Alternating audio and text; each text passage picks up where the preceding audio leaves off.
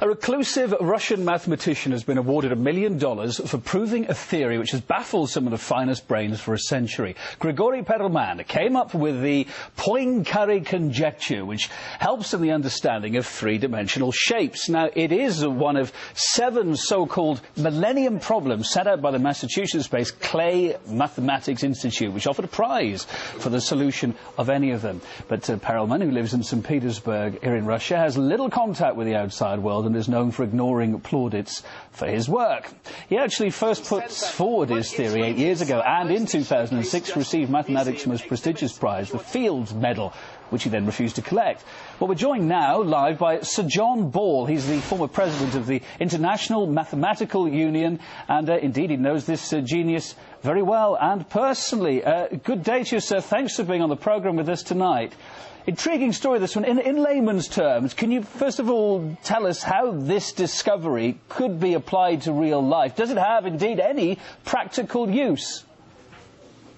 Probably no uh, immediate practical use, no, but it's about a very uh, basic object, the sphere, and so it's, it, the methods uh, connected with the proof will, will be, I'm sure, in the end applied to all sorts of different kinds of problems, but no direct application, no. Now, you spent, uh, as I mentioned, there two days back in 2006 trying to persuade him to accept the Fields Medal, which is, as I mentioned, mathematics' most prestigious award. Why did he refuse? Well, I think it was a complicated uh, set of reasons. I mean, I, I, spent two days talking to him, and I think he'd made up his mind before I, before I arrived, so there was not much chance of, uh, of dissuading him. But I, I think that he felt alienated from the mathematical community, and so he didn't want to be seen as a figurehead for the mathematical community. I think this was the main reason. I, am certainly he doesn't like publicity, but uh, perhaps that was a secondary uh, reason. I said he has little contact with the outside world. You've met him personally. What sort of man is Mr. Perelman? Well, uh, when we first started talking, I, would never met him before. It was a little difficult. We we didn't uh, you know we, we didn't know each other. He was uh, he's quite reserved.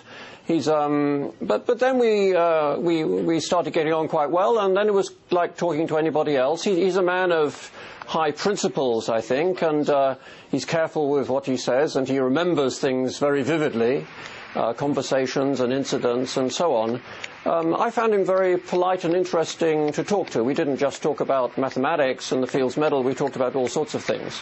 So, John, four years on, do you think anything may have changed now that $1 million is on the table? Do you think this time he'll accept uh, the award then?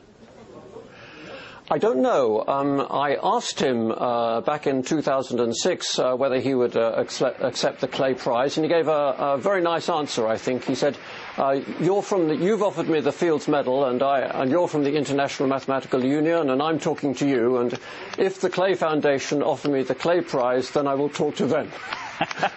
so the mystery continues. Thank you ever so much, Sir John yes. Ball, former president of the International Mathematical Union, being on the line with us tonight uh, from the UK. It's appreciated.